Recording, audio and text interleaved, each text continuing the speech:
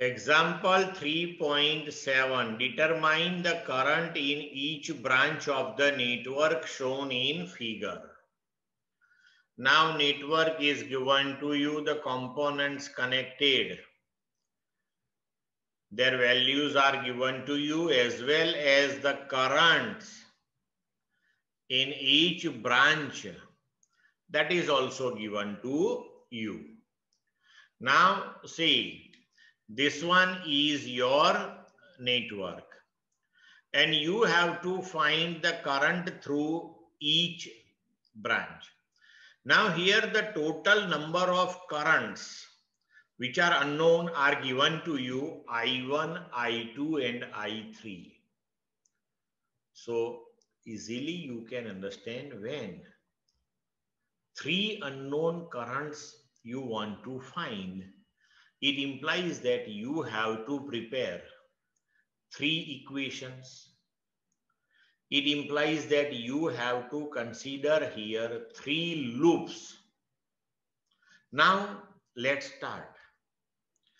Suppose first we consider loop A, B, C, A. So A to B current is I2 through resistor 4 ohm. We are moving in the direction of the current. So here the potential difference is taken minus 4I2. Then after B to C, so 2 ohm resistor current through it that is given to you I2 plus I3. And we are moving in the direction of the current. So the potential difference 2 into I2 plus I3 that is taken negative. So minus 2 I2 plus I3. Then after C2A, so through resistor 1 ohm you are moving in the direction of current I1. So potential difference minus 1 I1 and through the battery you are moving from negative to positive terminal of the battery so plus 10 that is equal to 0. Now simplify this one and prepare the current in terms of I1, I2, I3. Clear? Now consider another loop. A, C, D, A. So A to C you are moving through this battery from positive terminal to negative terminal, so minus 10. Then through resistor 1 ohm, you are moving in the opposite direction of current I1. So potential difference plus 1 I1. Then C2D, you are moving in the direction of the current I2 plus I3 minus I1 through resistor 2 ohm. So potential difference here minus 2 I2 plus I3 minus I1, this one. Then after D2A, you are moving in the opposite direction of the current I1 minus I2 through resistor 4 ohm. So potential difference plus 4 into I1 minus I2 that is equal to 0.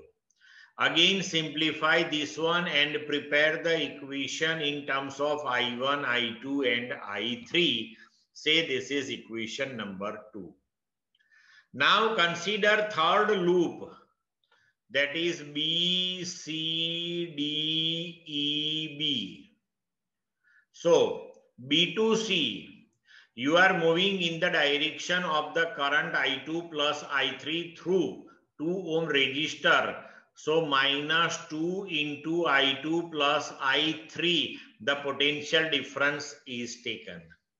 Then C2D, you are moving in the direction of the current I2 plus I3 minus I1 through resistor 2 ohm. So again, the potential difference that is negative minus 2 into I2 plus I3 minus I1. Then D2 E2B. So you are moving from negative terminal to positive terminal of the battery. So potential difference is taken plus 5 volt and resultant that is 0 when you reach at B. Again simplify this equation and prepare the equation in terms of I1, I2, I3. Say this is equation number 3. Now we have three equations and three unknown currents I1, I2, I3.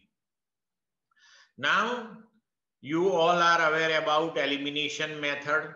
So by using elimination method, you have to find I1, I2, I3.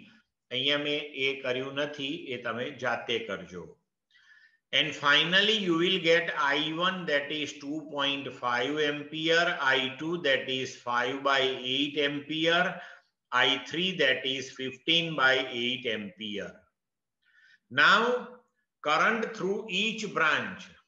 So see, suppose we take a current in AD branch. So that is I1 minus I2. So current I in AD branch that is I1 minus I2.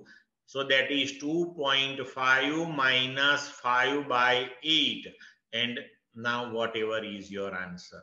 So in this manner, you have to write current through each branch of the network. Clear to all of you?